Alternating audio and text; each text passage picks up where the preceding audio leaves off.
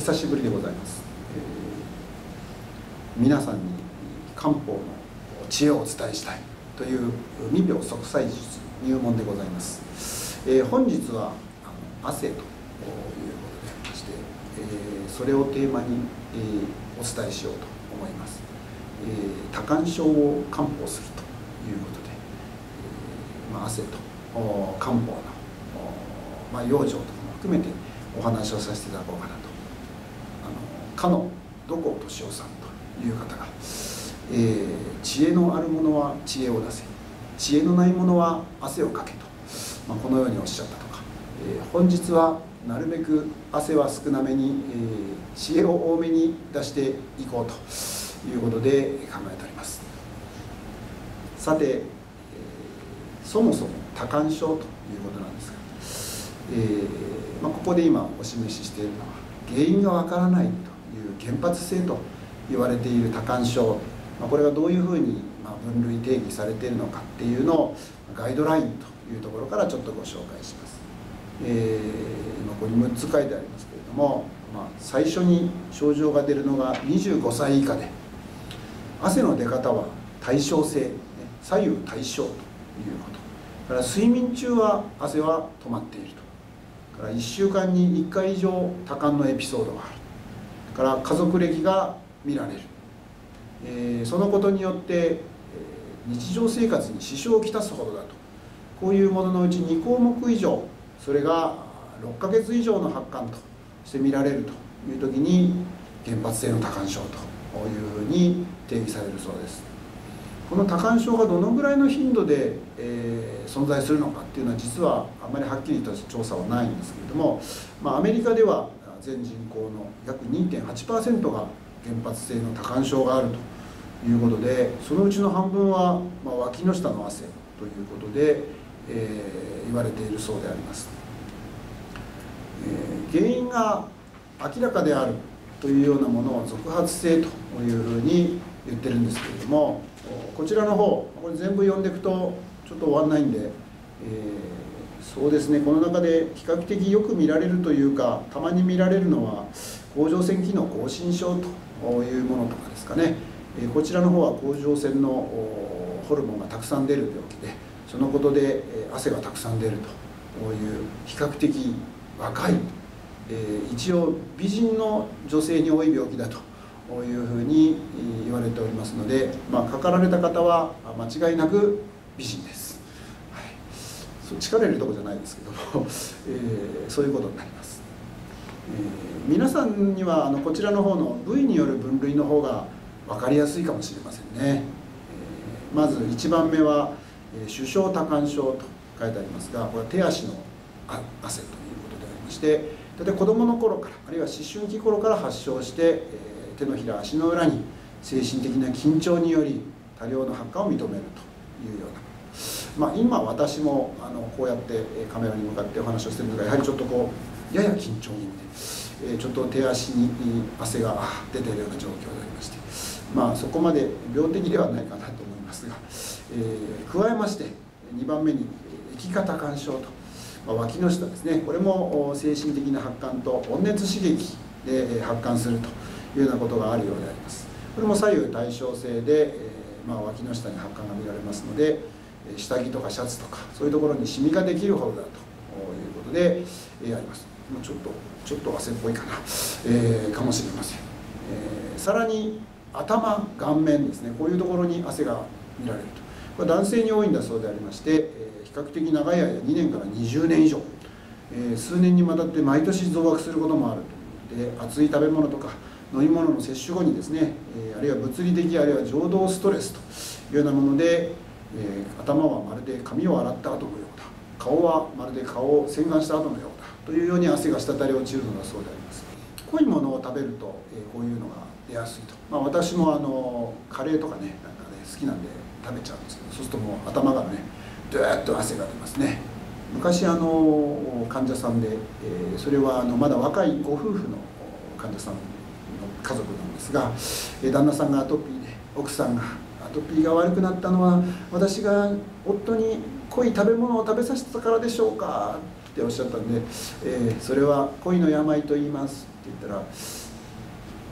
怪げそうな顔をしていましたけど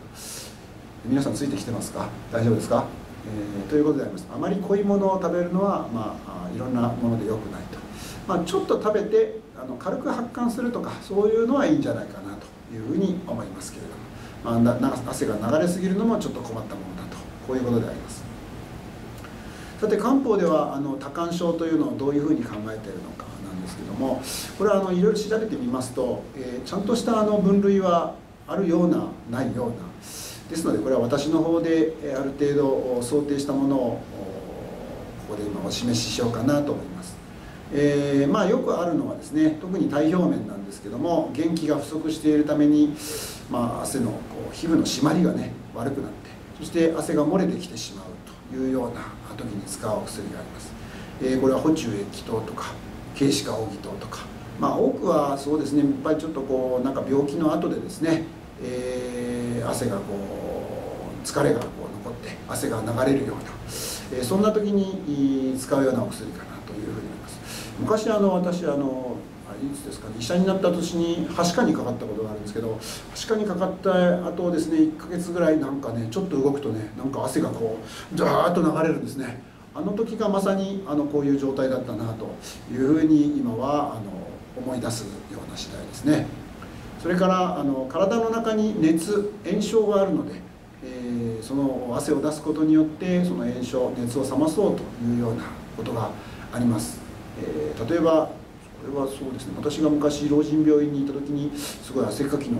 おじいちゃんっていうか、まあ、いらっしゃったんですけど、えー、もうなんかこう汗ベタベタの汗かいてるんですよ。でこう中触るとなんかこう熱いし。これはあの大蒸気糖なんてお薬を差し上げたら便がドワンと出ましてですね。そしたらあの結構熱も下がって、えー、汗もスーッと良くなったというようなことがありました。からこの時期ちょうど一応この気温がこう下がってきた時期が今今頃なんですけど、えー、そんな時期は実は夏の暑さの名残があって、えー、温度変化についていけなくて、えー、変な微熱であるとか変な汗が出るとか、え疲労倦怠感ねいわゆる広い意味では何ですか夏バテ？夏バテってあの皆さん夏起こると思うかもしれませんけど本当の夏バテは秋に起こると。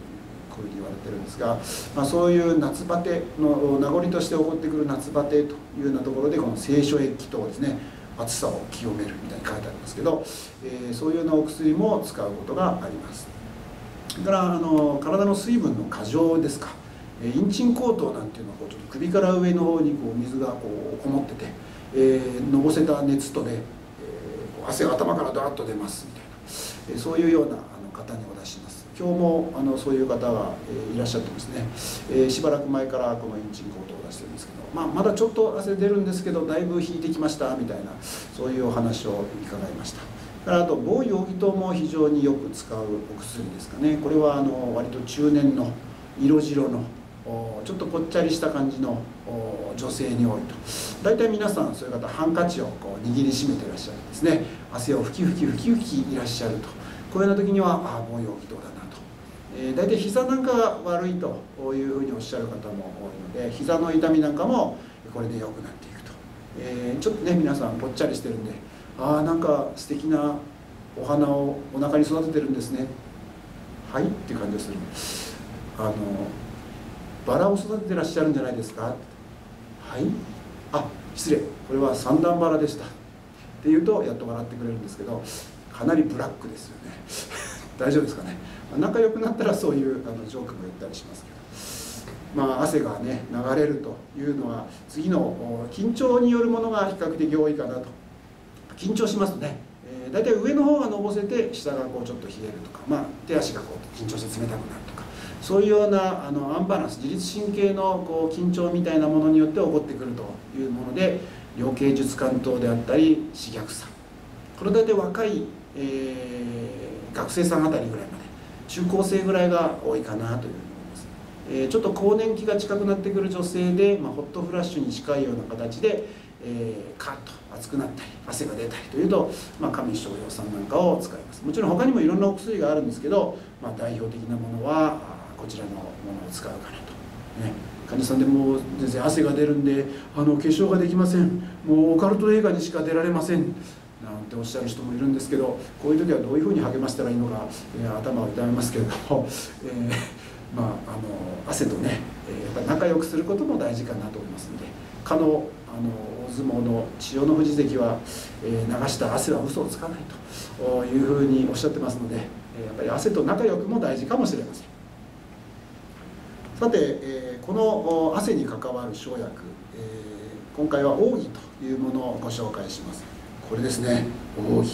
学名用アストラガルスモンフリクスなんかよくわかんないですけど、えー、普段あの筑豊弁しか喋ってないんであのラテン名よくわかんないんですがこんなような木の根っこであります。これはマメ科の内毛奥義というものの根っこを使います。えー、親王本草経という、まあ、生薬の漢方薬のバイブルみたいなものでは上品と書いて上本と言ってますが、まあえーと、不老長寿薬。ということで、使われているものになります。ここに書いてありますように競争需要、まあ、元気つける作用ですね、えー、皮膚の栄養を高める作用があります。なんかいかにもお肌のトラブルに良さそうでしょう補気消陽、まあ、の元気をつけて、えー、気をしゃっきり持ち上げるような作用があると。排膿作用膿が出やすくなる。患者さんでねこの薬はね膿を出しやすくする薬ですって言ったら先生心の膿も出していただけるんでしょうか。はい。って言うしかないんでそう言いますけど、まあ、小表弛緩ということで細表面をしっかりさせて汗を出さ汗を止める作用があります。その汗はどこに行くかというと大体まあおしっことかに行ってむくみを取って、えー、利尿に働くというようなところが知られています、まあ、飲んでもじゃあじゃあ出るわけじゃないんですがあのまあ、そういうような作用が期待されています。ということでありまして汗がだらだら出る人に、まあ、弛緩あるいは利尿から元気をつける作用ということで元気をつけるっていうとこの奥義という植物とあと人参ですかね。これを合わせて使う。日本ではその人参と奥義の入ったこれ腎義剤と言ってますがこういうものがあの比較的、えー、何ですか好んで使われると。内毛木こんなあの、えー、葉っぱですね。内毛っていうのはあの内モンゴルという字を当てて内毛あの辺で取れると。いうことなんですけども、えっと、30年ぐらい前ですが、まあ、私が医者になった頃は、まあ、内毛木よりも木花扇っていうのがあの比較的使われてましたね。同じ作用があるということで、えー、どちらももう同じように使われてたんですけどそうですねあの木花扇黄色い花を咲かせる木花扇なんですがあの昔あのチャングムの誓いっていう韓国ドラマでねチャングムが確か7話目だったか8話目だったかにあのシュラッカンっていうところから、え、植物園に流されてですねそれであのキバナオギの栽培に成功するっていうので許されてスラッカに戻るっていう話があったんですけど、えー、我々漢方医はあのストーリーは忘れたけどあのキバナオギのところにこうなんか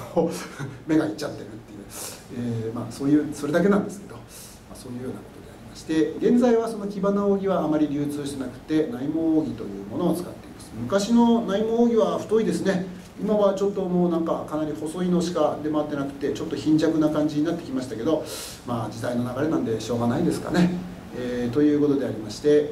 ー、まあいろんな汗とかからむくみとかそういうものにはこの扇というものを使います、ね、患者さんも難しいことを言われてね実際これはあのむくみというよりたるみでしょうかとかね。えー、そうねって言って悩ましいところですけど、えー、まあ皮膚をしゃっきりさせるっていう意味で言うとたるみとむくみの違いはどうどうですかね。次回まで考えておきたいと思います。さてあのこの養生の方で少しお話をしていきます。まあこういうようなあの発汗の異常はやはり緊張ですかね。そういうもので起こりやすいのでまずやっぱりその汗出たらどんな不具合が起こるのかというところをあらかじめこうシミュレーションしておいてですね対応策を用意しておくということをすれば、まあ、ちょっと安心かなと、えー、ですので、まあ、例えば書類に汗じみができるとか握手をすると相手が不快なんじゃないかとかコンピューターが壊れちゃうんじゃないかとかそういうようなことにどう対応しておくのかっていう、まあ、準備をしておくというのが一つ。からなんかぴったり汗を止めちゃったりするとこれはあのこれでまた体温の調節ができなくなったりいろいろ不都合がまた生じますのでだからまあ100点満点ではなくて60点ぐらいでまあよしとするというようなまあ心づもりをしていただきたいなというところ。からやっぱ緊張しやすいのはなぜか。なぜ緊張したのかっていうのをやっぱり、えー、原因を明らかにしておくと。ね。えー、前も言いましたっけね。よく患者さんがやっぱり、えー、緊張するみたいな、え、感じであの言われますから、え、今日はハンサムな先生がいたから緊張しますよね。とか言って、え、あのいやまだそういう方にはお会いしたことがありません。時々言われますけど、えー、まああの まあいいですか、えー、残念で残念でした。みたいな感じかもしれません。まあ、あとそうですね手軽にできるものとしてはやっぱり深呼吸ということでありまして、えー、まあ、私は呼吸の専門家ではないんですけども、まあ、吸った時間の2倍の時間をかけて吐くとよろしいということですので、まあ、3秒吸ったら6秒吐く4秒吸ったら8秒吐く息を吐かない人は吐かない人です。ついてきてます？大丈夫です？はい。えー、まあそういうことでですねどこかであとは、ま、やっぱり開き直らないと良くないと。えー、人間、あのやっぱり、え、まあ、努力も根性もあった方がいいと思うので、え、アメリカのなんかフットボールのコーチが、えホルツさんという方がいらっしゃるんだそうですけど汗で溺れた者はいないと、まあ、これ要するに練習しなさいってことなんでしょうけど、えーということですか。ら汗とこう仲良くなるというのも大事かなというふうに思います。さてそんなあの緊張しやすい方にこんな食べ物をというのをちょっと紹介しておこうかなと思います。まあこれはあのこれを食べたら汗が止まりますとかそういうことではありません、え、こういうのを少しずつ取っておくとまあ漢方的に緊張しやすいような体質がリラックスするような体質に変わってきますよという一つの、えー、何でしょう提案ということになります。だからたくさん取りすぎたら逆効果ですからね。今の時期ですと何ですかね。やっぱ春菊とかですかね。これからね、え鍋に春菊なんかを入れていただいて、えー、そうするとこうカーッとのぼせるようなのをスーッと沈めるような作用があるということでありまして、えー、まあやっぱ気が張ってるっていうのも大事なんですけども、えー、ずっと気が張ってるのもまあ困ったもんだと。だけど気が張り詰めたのが溶けてしまったらっていうのもちょっと心配ですけどね。あの8年前9年前ですか？東京オリンピックがね開催日本で開催されるって言って。だからみんながねあのおじいちゃんおばあちゃんたちがね「いや東京オリンピックを見るまでは長生きしたいです」って皆さんおっしゃってたんですけど、えー、どうしてらっしゃいますかね皆さんね。大丈夫ですかね。えー、っと、えー、具合が悪い方はぜひあの漢方薬などをお飲みいただくとよろしいかと思っております。皆さんまだあの東京オリンピックが終わってもコロナは終わってないようですので気を張ってい、えー、かないといけない時はしっかりと気を確かに持っていただいてと思っております。さてあの、まあ、多汗症という話をしたんですがこれ寝汗頭汗ですね。こちらの方は先ほどの定義の中でも言ってましたがあの昼間汗をかいて夜汗かかないというのが頭汗ということになりますのでちょっと多汗症とは離れるんですけども、えー、寝汗もこれ原因がどうも様々で、え、ちょっとはっきりしないところがあります。もともとね深く眠るためには汗をかいて体温を下げるというようなことがあ必要だということですので汗をかく必要もあるんですけども、えー、比較的注意しないといけないのはやっぱり体の中に熱炎症ですね。これはあの例えば風邪の名残であるとか、まあ、膠原病とか、まあ、悪性腫瘍の一部とかそういうものが体の中であるとやっぱり熱があって、えー、汗を出さ出させて体温を下げないといけないことになるとこれはちょっと検査をしたりする必要があるかなと思いますけども。まあ、その他はやっぱりストレスでね、えー、体温調節が不安定特に、女性の方は月経周期とか更年期こういうようなものでホルモンのバランスが崩れやすいということがあるようですストレスといえば今日患者さんがあの診察に来られてね「いやもう先生のとこに診察に来るのがストレスなんです」って「どうしてですか?」ハンサムの先生と話をしたら「緊張するんですか?」って聞いたら「いやそうじゃなくて先生の毒舌にやられるんで」えー、私は毒舌かもしれないけど私の毒は体にも効く薬になるんですよ。って言ったら「えー、ちょっとちょっと看護師さん、うん、看護師さんも毎日大変でしょ」って言ったらナースがね、えー、にっこりと笑って「えー、そうです」答えてました、えー、今日あった本当の話です、えー、ということでありましてまああのこういう寝汗が出るようなタイプの方っていうのは眠りの質が悪い方も非常にそういうことが起こりやすいと、まあ、もちろん寝る時の環境ですね、まあ、暑いとこで寝てりゃそれは寝汗もかくでしょうし。だから睡眠時無呼吸のような病気の中で、えー、このような寝汗みたいなのが症状として出ることがあるそうですので、まあ、あの必要に応じて、えー、検査治療なんかも考えていただければというふうに思います。ということでありまして長々と汗の話と漢方の話と一部どうでもいい話を、えー、入れてまいりました、えー、次回の予告はどうなってるんですかね？次回の予告次回なんか予定まだ聞いてないんですけど。え？あジンマシン。ジンマシンについてですか？分かりました。じゃああの今ここで、えー、ジンマシンということで勝手に決まりましたので、次回はジンマシンと漢方それから養生こういったところのお話をしていきたいと思います、えー、全ての皆様の健康増進に漢方の考え方未病息災術入門今日もご視聴ありがとうございました。次回またお楽しみに。